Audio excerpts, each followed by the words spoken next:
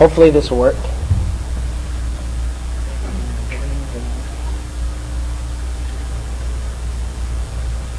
Okay, so what I'm going to talk about is uh, rootkits and also ways to detect rootkits. I've developed a freeware tool called Vice that does that. So if you were, came to uh, see a bunch of hookers taken away by some policemen, you're in the wrong room. I know, I know, their limo got broke down, you know, whatever. So as he said, my name is Fuzanop. Uh, if you came to Black Hat, you know I'm also Jamie Butler. It's in your program. Uh, that's no secret. I'm at rootkit.com. Everything I discuss here you can download from rootkit.com. Um, but wait till Monday or Tuesday of next week. the source code for all the rootkit stuff I will talk about is on rootkit.com, so you can have that and change it or whatever. Vice, the freeware tool, currently is downloadable in binary format. So what we're going to do, we're going to talk about hooking and how a lot of uh, really lame rootkits hook and userland and so forth. then we're going to talk about the tool Vice to detect it. Then we're going to talk about direct kernel object manipulation, which is incorporated into FU and a demonstration. Uh, pardon my voice today, it's pretty, uh, pretty dry. So just, we'll cover a few general overview of an operating system this, this talk applies mainly to Win32, but you could also apply all the rootkit technologies and concepts to a Linux or Spark or whatever. So in a Win32 type of environment, there's userland, and that's supported by kernel32.dll and ntdll.dll. So whenever you write a program, that's the libraries you link to, and you use the functionalities exported by those DLLs once those DLLs get a hold of your request, they eventually call down to the kernel through uh, some means we'll talk about in a moment. Uh, the kernel is what implements the low-level functionality to allow these APIs to work. So it's the kernel doing all the work, kernel 32 and everything is just basically a pass-through. So, tax scenario. Rootkits are not about how to exploit a box there, there's been other talks here, um, FX and Alvar, and other talks uh, at Black Hat where are experts at shellcode and so forth. So I won't talk about how to gain access the first time. What a rootkit is for is to maintain access. So hide your presence. You want a remote command and control channel that is uh, undetectable by IDSs and by the kernel itself and maybe uh, intrusion. In the most part, for the ones I write, they'll exist in the kernel. So they act as part of the kernel. And we'll talk about why. Until recently, most rootkits were nothing more than a Trojan program. Uh, this is probably like an 80s thing. They would they would replace PS or LS or something that when an administrator would run the command, they would get a Trojan version of the executable.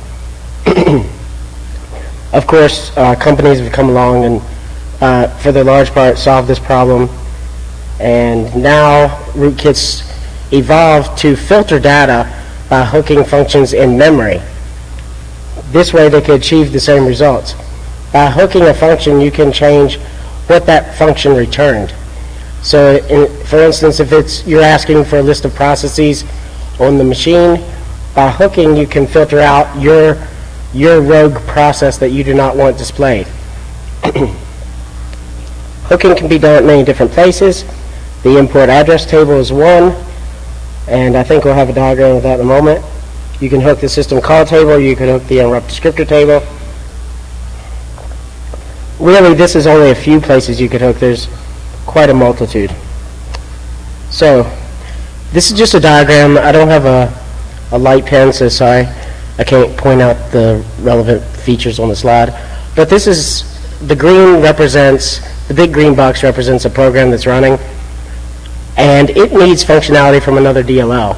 So it does, it has stubs in its code uh, called the import address table. When the loader loads the program into memory, it will set the appropriate function address for these functions that are in other DLLs in this IAT table. And that's a blow up there. They're either exported by function name or by ordinal.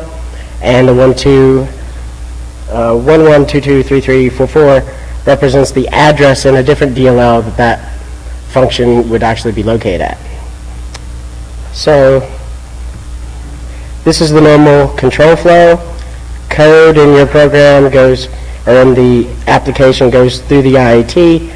The IAT calls into some DLL, uh, such as kernel 32, etc. You can inject, though, a DLL into another process through a couple different means. We won't cover those, but they're well documented. And it's also rootkit.com. There's at least three different rootkits that use DLL injection to hook things. So in this case, the uh, the rootkit is changing the IET entry so that the program control flow changes to it instead of the original DLL. Now here's an example of a system call hook. So on the, um, I guess my left, there's the system calls being made. That's an application asking uh, the operating system to do something on its behalf. It passes through that magic, magic barrier there. Now it's in kernel mode. In kernel mode, there's a function called, in the kernel, in NTOS kernel, there's a function called chaos system service. Chaos system service will resolve the, the number of the function you're trying to call. So for instance, like um, ZW create key for creating a registry key. Maybe that's function number 3B. It uses that as an index into the system service descriptor table, and that just contains function pointers. Each, there's a blow up, blow up of each table entry, and they're merely um, function pointers that are indexed by call number. The function um, is represented here. So you go through the call table to the function in question with this control flow. Now, if you have a rootkit, obviously you can divert that control flow to yourself. This is the same as a user land IAT hook, more or less. It's just a little bit more complicated because not as many people seem to know how to write kernel code and can get some things wrong. This is an example of a more advanced technique where after going through the system call table, it still goes to the correct function, which is represented there at the top. However, the function's been hooked by an immediate jump, and the immediate jump jumps to the rootkit, and then the rootkit has control once again. This is a, a lot more advanced technique. It's sometimes hard to get correct. Quick overview again in case uh, this is a, an animated slide that represents it maybe a little bit better. So kernel32.dll runs for a while. This function represents create file W uh, to create a file in the file system. It eventually calls into ntdll, calling the function ntCreateFile that runs for a while, and then it calls into the system. So at each one of those places on the slide, you could have hooked at the beginning of the function, you could have hooked at where the function made the call, you could um, hook the IETs, etc. Once you're in the kernel, on Linux, the the interrupt for requesting uh, service of the kernel is interrupt 80. On uh, Windows, it's int2e.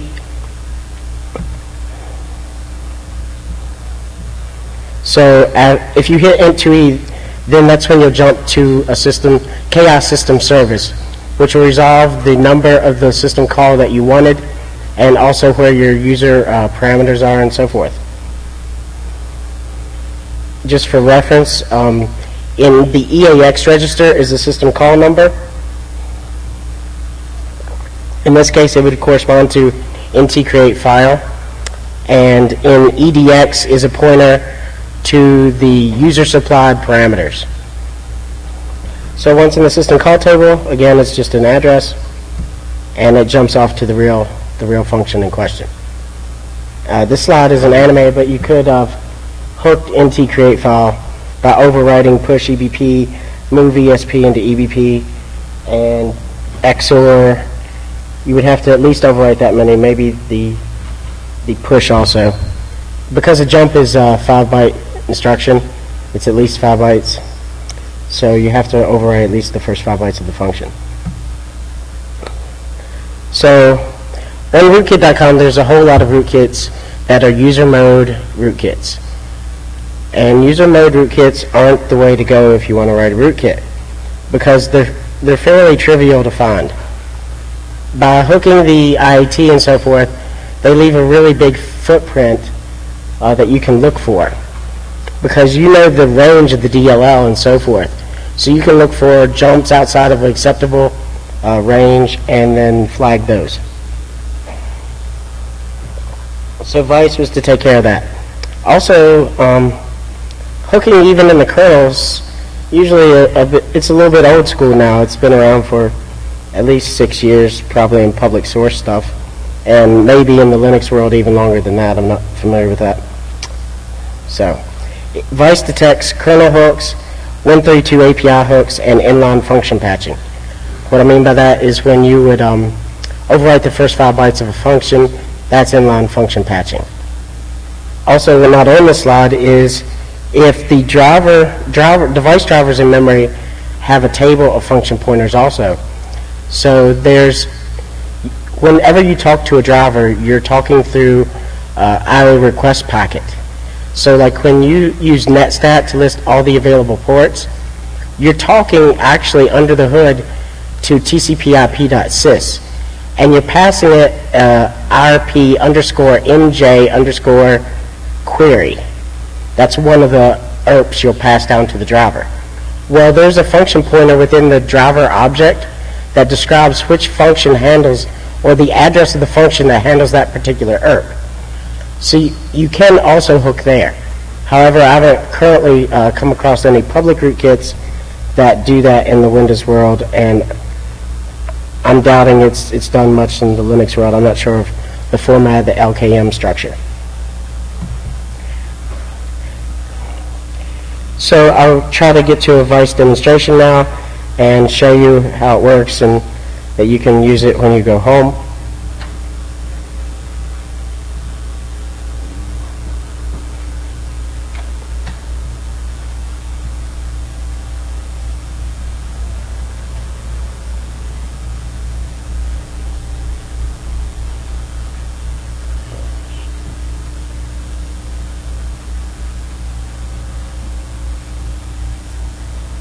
Okay, well, it's on my key. I'll try to show it in a minute if I have extra time. Uh, the key's not installed right now. So, to save the day, I have backup slides. So here's Vice versus Hacker Defender. Um, Hacker Defender is a very, a very good rootkit that's on rootkit.com. I believe it was written by Holy Father, and he's uh, he's very knowledgeable. I've discussed rootkit stuff with him in email here's the Vice output. Um, I'm not sure if it's completely readable, but all these slides should be on your CD also. The things there with the Elmer's glue, uh, little icon, you'll see it's hooking. There's something hooking kernel32.dll, and actually that turns out to be, in this case, up way up top of the screen is NTDLL. So you might say, well, NTDLL is not a rootkit. That's correct, but the way it's um, used in the system, it actually hooks other Windows APIs occasionally. And so therefore it is a hook, and that's what Vice catches. So the thing with the Swiss Army knife, a little icon, that's, that's all the functions that Vice called Hacker Defender hooking. When possible, Vice will output where on the file system you can find the the hooking module in question. So that will allow you to go to the file system and delete that bad um, DLL or whatever off of the system.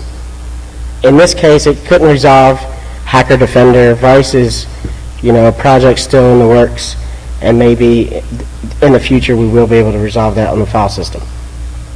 So you can see it uh, hooking things like create process and so on and so forth. It also gives you the um, address and memory Vice does. So if you wanted to go and reverse engineer it yourself and figure out exactly what their function does, you can do this. Here's Vice versus Vanquish. Vanquish is another uh, popular rootkit at rootkit.com. And enough said about that. How many read KDM's paper on FRAC 62? Anyone?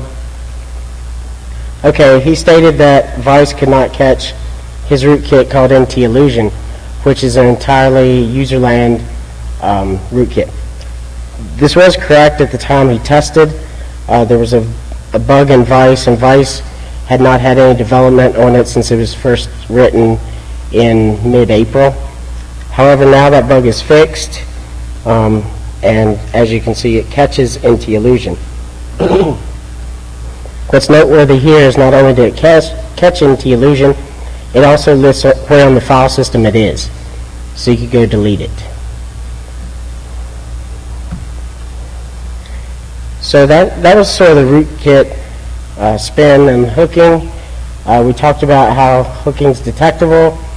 And now we're going to go into a little bit more of what co- consumers are currently doing in the world of, you know, trying to prevent viruses, trying to prevent rootkits, and so on and so forth.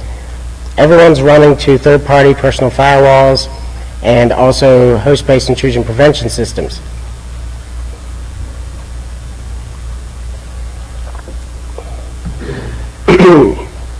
So what are HIDs? HIDs are host-based intrusion detection system, HIPS being host-based intrusion prevention system. What are they there for? They're there to detect what processes are running on the system, maybe if a new process is started, uh, block access, you know, to things like Netcat and so forth from running, um, what files are created or deleted or modified. That may be important to a HIPS, like don't let anyone write to the WinNT or Windows System 32 directory because that's probably going to be a bad thing. Um, HIPs also keep track of network connections made and possibly deny those connections. And they try to do a little bit with privilege escalation. And they look for buffer overflows and so forth. However, for a lot of these uh, different pieces of functionality, HIPs and the current security products rely on the operating system itself. So if you lie to the operating system, um, you lie to the HIPs. Here's some different uh, functionality that's built into the operating systems today that allow HIPs to work. Um, if it allows the HIPs to work, it can also probably, you could use this as a starting point to where to look to try to unlink a HIPs, for instance, in your kernel. So you can register OS uh, provided callback functions. For instance, if you want to be notified every time a process is created, you can register an address to be called in that case, and the kernel will do so. Um, that works for threads also, uh, images loaded into memory. There's all, the, all these different pieces that HIPs use to detect uh, new things coming into the kernel or coming into the process listing. Um, you can hook these, you could remove, these are nothing more than a linked list of functions to call. You could remove um, a HIPS product from that linked list probably without a whole lot of problems. Um, some HIPs actually hook the system call table. Uh, you have to do that, especially on Windows, if you want to um, if you want to filter on registry key access, because there's no um, easily there's a userland API that you can call for a callback when a registry key changes or any of its children, but it doesn't provide you much useful details. It just says, hey, something changed, and you would have to reparse all the keys to figure out exactly what it was that changed, and therefore you'd have to sort of keep state like before and after. Uh, that's not very useful. So HIPs, for the most part, just hook the system call table directly. HIPs can hook userland uh, API functions. Um, how many saw the FRAC article on um, bypassing third-party Windows buffer overflow protection? Okay, that was done by myself and uh, two other anonymous co-authors who I'd like to thank, and they know who they are. So anyway, uh, some products were hooking the userland APIs, and we wrote some shell code and so forth to totally bypass their, their implementation of buffer overflow protection at the API level. And then you can query the kernel, of course. So if you want to uh, know what network uh, connections are open, you can query the kernel, it'll tell you. Well, there's a problem with a lot of these HIPS designs, and it, it goes back to the FRAC article, really. It requires that they be on the execution path of any malicious code, and they have to know what that execution path would be ahead of time. So, there's no reason that we have to use the APIs in, in the kernel or even in userland. So the ones that we know that they're watching, we don't use those APIs.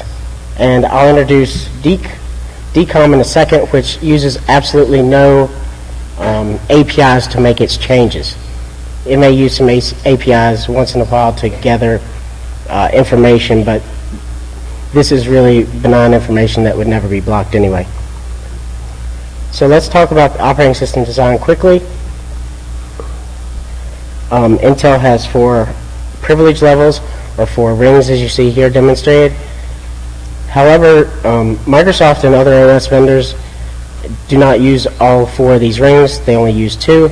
There's ring zero, of course, which is completely privileged code, which is the kernel itself or device drivers or LKMs. Then there's ring three. Ring three is all applications. so when you're running in ring three, for instance, um, ring three is just ring three. Like the HIPS doesn't have any more privilege than you do at that point, if it's only implemented at ring 3, which is the case of some of these uh, 132 uh, buffer overflow protection mechanisms. Ring 0, you have access to all of kernel memory.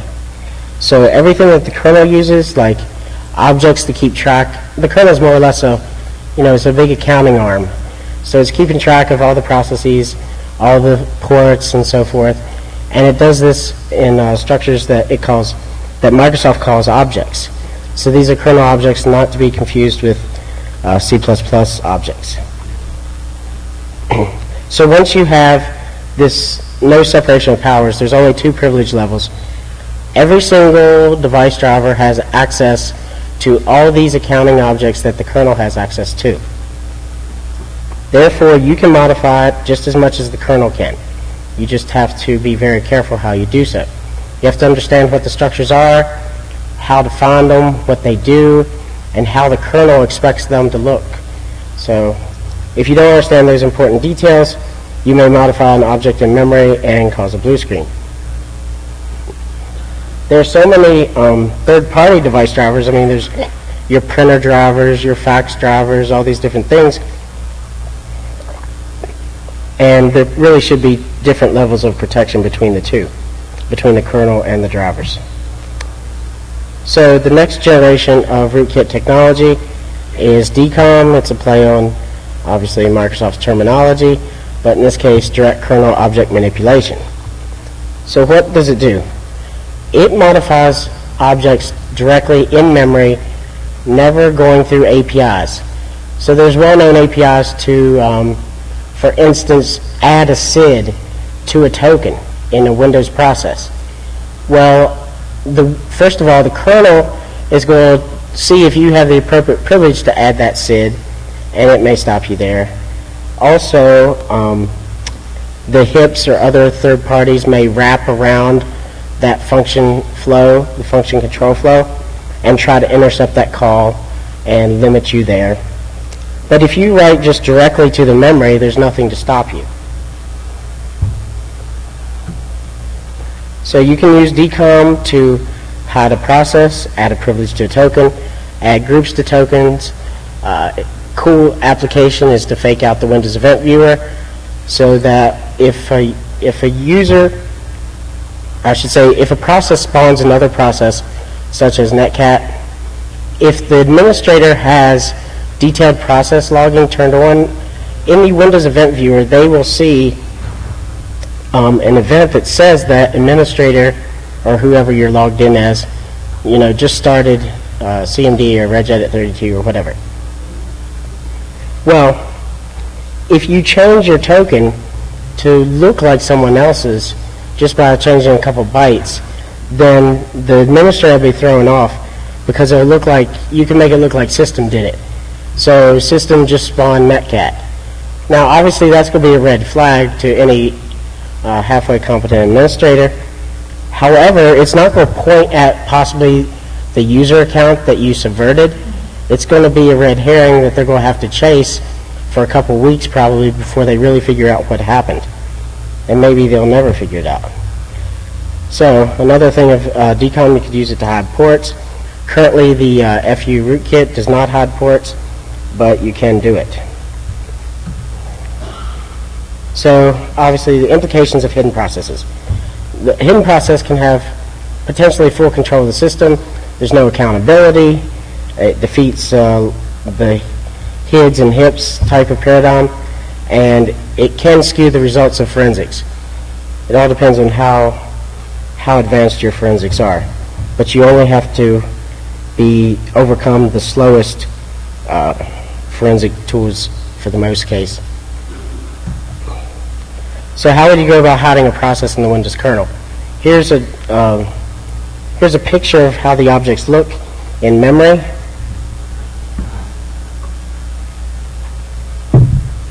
The, e uh, the kernel has a processor control block. It's represented there at the top. Within there's three key pointers. One is to the current thread, one's to the next thread, and one's to the idle thread. So you need to find your current thread because that's going to lead you to your current process. So you go to the processor control block, follow that pointer to the current thread. That's represented there by the E thread block that's sort of in the middle of the diagram. The E thread block or object contains a K thread object uh, completely embedded within it at the beginning of the E thread object. And that contains a pointer that leads to the E process block. Every process in a Windows uh, operating system has to have at least one thread and it has an e-process block. So these structures are, for the most part, undocumented. If some of them now are becoming a little bit more documented, however, they change a lot between versions of service packs and also major versions of the operating system. So you have to do, at, at first when I did this uh, two years ago, it was all reverse engineering. Now you can use WinDbg, uh, load up the symbols appropriately for whatever version of the kernel you're using. Type dt space mt bang underscore object name. And if you don't know what the object name is, you can wildcard it to try to narrow it down. I will tell you that not all the object members are documented. Like Microsoft may just say, oh, it's a, it's a p void. And so you don't know what it actually leads to. And of course, that takes a bit more time to figure out. So within the eProcess block, there's a, there's a list entry structure. It contains two pointers. The first one's called a flink, and the second one's called a blink. A flink is a forward link, and a blink is a backward link. So this list of e-processes, if you would just keep following the flanks, it's completely circular.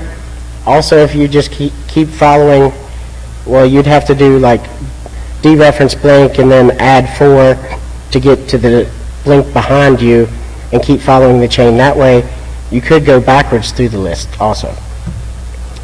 So if you want to hide a process, the kernel processor control block is located at a fixed address. Also, if you don't trust that, because I haven't verified that since 2000, um, you can use the FS register to always get the address of that kernel uh, kernel processor control block. Also, um, within there, we talked about that you can get the current thread running, and there's the assembly command. Well, um, you would just move that into like EAX, the FS colon um, bracket 124, and that would get you to an E thread. The E thread takes you to the K thread, and the K thread takes you to the E process block.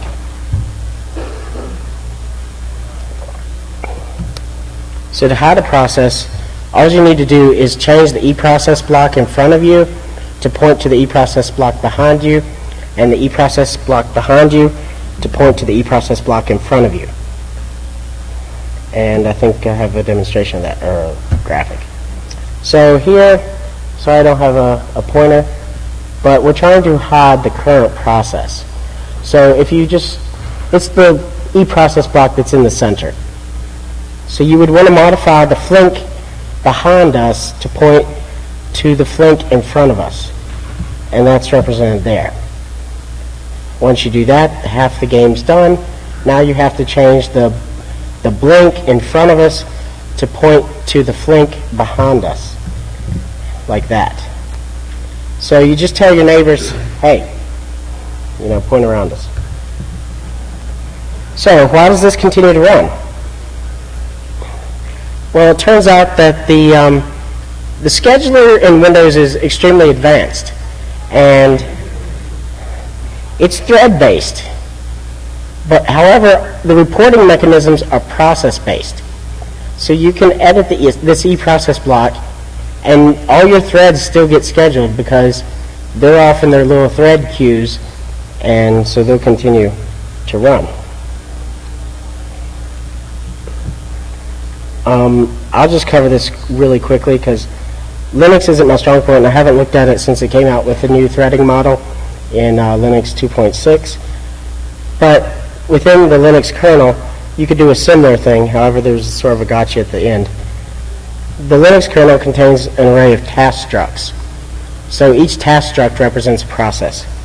A task struct contains um, a linked list with the pointers previous task and next task that you can also follow around the circle.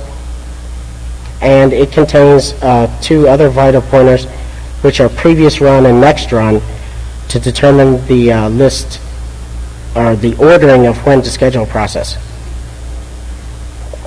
So, how to process, you just remove it from the previous task and the next task, uh, like demonstrated in the e-process block. Exact same concept. You leave next run and previous run alone. Uh, does anybody know what happens when you get this far? What? Speak up.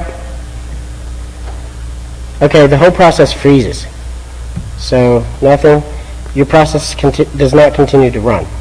And the reason being is because the way that processes get scheduled time on a Linux 2.4 kernel in which case the scheduler walks around the previous run and next run um, list.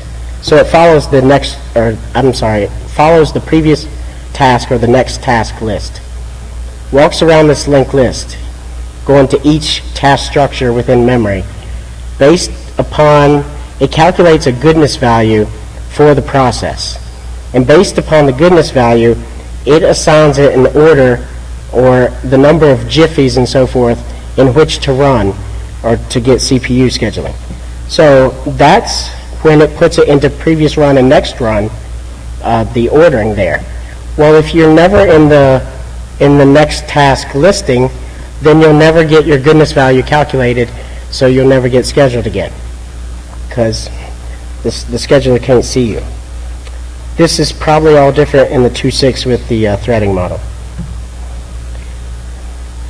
Uh, there was a rootkit on, after I hit this problem, there was a rootkit that I found online that was open source. It was uh, Fairness I believe was the name. And this person had come across the exact same problem I was having, and they figured out the only way to fix it was to, or the way they were going to fix it was to patch the uh, scheduler. So what this, um, what the solution did was the init process is always the first process and it has no, uh, no parent process. So the parent processor, or pointer parent process in the task struct is null. Well, they modify that to point to the hidden task struct. That way, they modify their scheduler to always go there and look at these hidden task structs and calculate a goodness value for them. But if you're going through all that effort, there'd probably be better ways to uh, hide your process. So, um, you, it should be noted that you can't just change these uh, listings arbitrarily and not expect some problems. These lists especially Um, in a multi-threaded environment or a multi-CPU especially environment, these lists are shared resources. So you have to um, use some kind of uh, synchronization objects to try to get access to these lists if you want to completely modify them or modify them in a completely safe manner. In Windows, if you want to modify the list of active processes, there's a non-exported symbol called PSP Active Process Mutex. The kernel every time grabs that mutex, and once it has it, then it can modify the list. PS load and module resource is to guard the list of device drivers. Problem is, obviously, as I said, these symbols are not exported. So we have to find another way to come up with synchronization. One way you could do it is you could hard, hard code these addresses of these mutexes, um, and that would vary a lot between each version of the OS. And maybe, potentially, each uh, reboot could also uh, have an effect here. This isn't probably the best uh, solution. Another way you could go about it is to try to search for a known pattern in memory. You know that there's going to be certain functions within the kernel that have to access these mutexes in order to operate safely. So you could do a search